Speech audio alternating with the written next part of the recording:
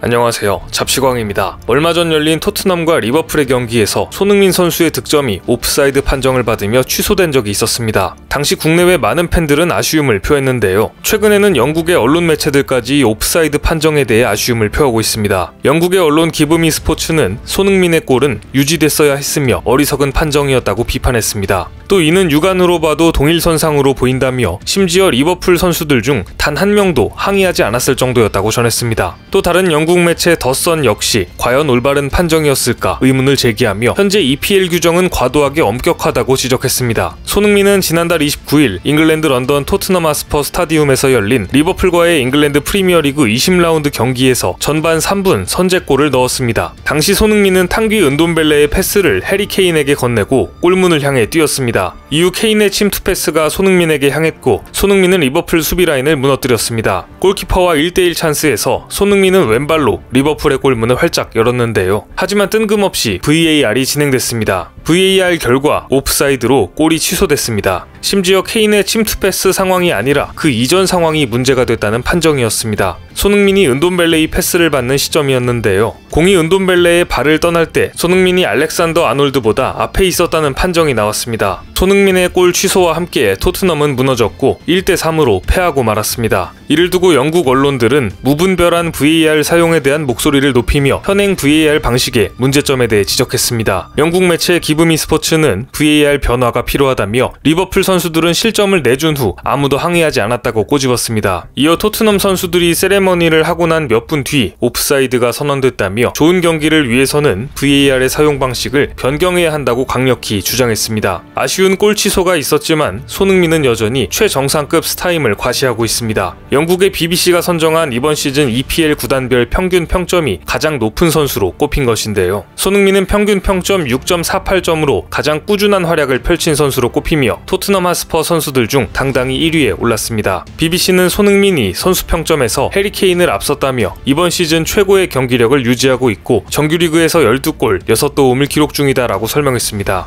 또한 손흥민은 토트넘, 리버풀 통합 베스트 11에도 이름을 올렸습니다. 영국 메일은 손흥민을 소개하면서 현재만 놓고 보면 손흥민이 마네보다 출중하다고 전했습니다. 그러면서 손흥민은 12골을 터뜨려 마네를 앞섰고 양발을 두루 잘 사용한다고 극찬했습니다. 손흥민은 실력뿐만 아니라 팀원들과 잘 어울리는 것으로도 유명합니다. 최근 환상의 콤비를 보이고 있는 케인에 대한 인터뷰도 화제가 되고 있습니다. 손흥민이 찰떡 케미, 해리 케인과의 환상 호흡에 대한 이야기를 술술 풀어낸 것인데요. 영국의 BT 스포츠와의 인터뷰에서 손흥민은 우리는 정말 많은 대화를 나눈다. 케인은 그가 뒷공간 깊이 볼을 떨궜을 때 내가 무엇을 할지 이미 알고 있다. 그리고 나 역시 그가 어떻게 할 지를 언제나 알고 있다. 케인과 나 사이에 질투 같은 건 전혀 없다며 둘 사이의 케미 비결을 밝혔습니다. 하지만 최근 예기치 못한 케인의 발목 부상으로 손흥민은 사실상 팀의 에이스라는 중책을 맡게 됐습니다. AP통신에 따르면 조제 무리뉴 토트넘 홋스퍼 감독은 리버풀과 경기 뒤 케인이 한동안 결장할 것이라고 전했습니다. 정확한 발목 상태와 결장해야 하는 기간은 추가 정밀 검사에서 드러나겠지만 일단 몇 주간의 휴식이 불가피한 상황인 것으로 보입니다. 케인은 올 시즌 리그에서만 12골, 11도움을 올려 공격 포인트 23개로 리그 1위를 달리고 있는 핵심 자원인데요. 이에 따라 그와 올 시즌 환상적인 콤비 플레이를 펼쳐온 손흥민이 팀의 중심 역할을 맡게 될 전망입니다. 영국 언론들이 손흥민 선수를 칭찬하는 기사만 내주고 있는 것 같은데요. 영국의 언론들이 꼭 칭찬만 하는 것을 좋아하지는 않습니다. 일본을 대표하는 축구선수 미나미노는 부진이 장기화되자 영국 언론에서 작심한 듯 비판하는 기사를 내보냈습니다.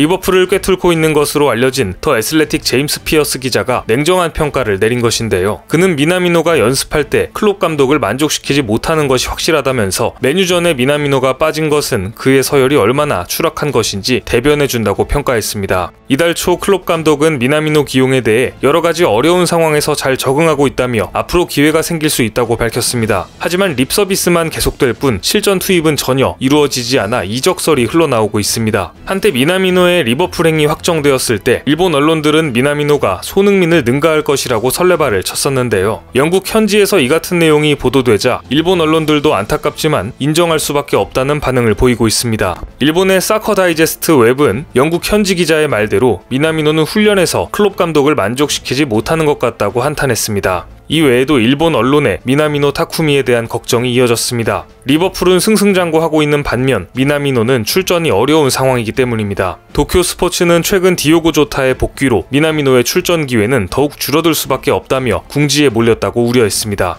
더 다이제스트는 미나미노는 리버풀의 잉여 자원이라고 평가받고 있다면서 미나미노가 최선을 다하는 것을 분명하게 알고 있다. 그런데 팀에서 제외되는 것에 대해 설명할 수 있는 사람은 없다. 연민이라고 보기는 어렵다고 현실을 직시했습니다. 또 이 매체는 미나미노의 전술 이해도 부족이 문제라고도 평가했습니다. 일본 내에서조차 미나미노의 전술 이해도가 부족하다는 이야기가 나오는 것인데요. 비슷한 시기 같은 리그에서 한국을 대표하는 선수와 일본을 대표하는 선수의 상반된 모습이 흥미롭습니다. 그런데 스페인의 축구 레전드 다비드 비아가 미나미노뿐만 아니라 일본인들 자체가 전술적 이해도가 떨어진다는 돌직구를 날렸습니다. 다비드 비아 선수는 말년을 J리그에서 보냈었습니다. 일본 리얼 스포츠에 따르면 최근 비아는 일본인들이 규율을 엄격히 따르기 때문에 전술 이해도가 부족하며 실패를 두려워해 슛을 과감히 시도하지 않는다고 지적했습니다. 그는 일본 선수들은 기술과 민첩성이 뛰어나지만 감독과 코치가 말한 것만을 충실하게 수행하려는 선수가 대부분이라고 평가했습니다. 그러면서 스스로 판단을 내릴 수 있는 능력에 방해가 되며 기본적인 전술 이해 부족으로 이어진다고 비판했는데요. 이런 점이 원인이 돼 일본 선수들의 전술 이해도는 세계 레벨에서 뒤떨어진다고 전했습니다. 다비드 비아는 일본 선수들은 실패를 비정상적으로 두려워한다. 실패할 바에 도전하지 않는 편이 낫다고 생각한다고 진단했습니다. 특히 슈팅 상황에서 이 같은 문제가 드러난다고 꼬집었습니다. 그러면서 비아는 경기 중 슈팅 기회는 가뜩이나 잘 오지 않는다. 승패가 갈리는 플레이인데 일본의 유소년 축구 대회는 대부분 토너먼트로 지면 끝이 난다. 이런 상황에서 슛 하나에 걸린 책임감은 막중하다며 구조적 원인도 분석했습니다. 또 그는 스페인을 비롯한 유럽 리그는 유스 레벨도 리그로 열리기 때문에 실패해도 다음 기회가 있지만 일본은 그렇지 않다며 이 때문에 일본 축구 선수들에게는 적은 슛 기회가 더 줄어든다고 언급했습니다. 결국 세계의 또래 선수들과 비교했을 때 일본의 유망주들은 슛 실전 경험이 극단적으로 적다고 충고했습니다. 변화를 두려워하고 도전하지 않는다. 비단 축구만의 이야기일까요? 이쯤 되면 이것은 일본의 종특이 아닌가 싶습니다. 이처럼 고전을 면치 못하고 있는 일본 선수들과는 다르게 유럽에서 새롭게 떠오르는 한국 선수가 있습니다. 바로 프랑스 리그의 황의조 선수입니다. 프랑스 보르도의 황의조 선수가 유럽 진출 후 처음으로 한 경기 두 골을 몰아치며 맹활약을 펼치고 있다는 소식입니다. 최근 황의조 선수는 유럽 진출 후 처음으로 한 경기 두 골을 터뜨렸습니다. 이날 골문을 연 황의조는 부상 중인 팀 동료 오타비오의 유니폼을 들고 동료애를 과시하기도 했습니다. 최근 7경기에서 5골에 도움 1개를 기록한 황의조는 팀 내 최다 득점을 기록했습니다.